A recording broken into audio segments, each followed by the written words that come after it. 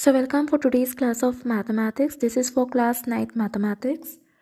Uh, chapter 13 surface areas and volume exercise 13.3 question number 6. So I will be solving exercise 13.3 question number 6 today. So you all can take down this question first. Uh, the slant height of the base diameter of a conical dome are 25 meter. Okay. So here the slant height you all can see to be 25 meter and 14 meter respectively. 14 meter is your diameter.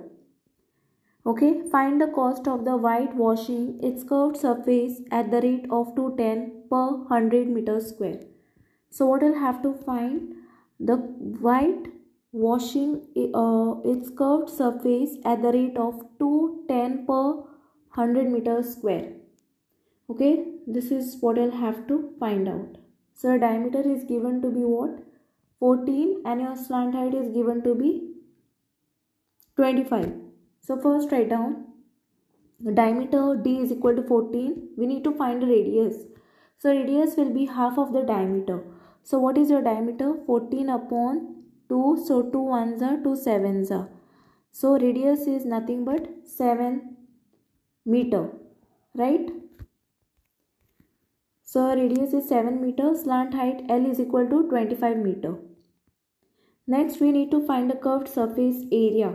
Formula is what pi r l.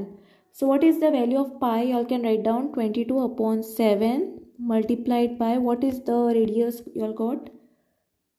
So radius is nothing but 7 meter. Okay, so you all can write down 7 meter over here. 7 meter multiplied by the slant height you all got over here is so slant height is given to be what 25 meters so you all plug the value over here 25 meter over here now what is getting cancelled? 7 ones are 7 7 ones are 7 what is left? 22 multiply it with 25 and see what answer you all are going to get.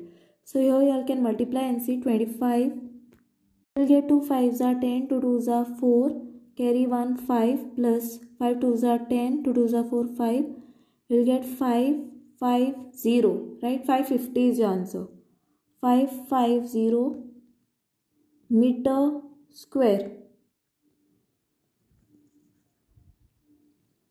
so basically your curved surface area is nothing but 550 meters square. Now let us see the cost cost of the white washing at rupees 210 per 100 meters square. It is given in the question you can see. Okay. Uh, find the cost of white washing. Its curved surface at a rate of 2 rupees 210 per 100 meters square. Okay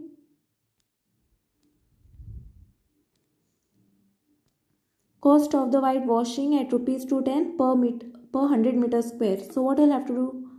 210 upon 100 multiplied by the curved surface area that is 550 so here what will what is get, going to get cancelled? 0 0 will get cancelled. Okay? Next what i'll have to do is 0 and 0 is also got cancelled.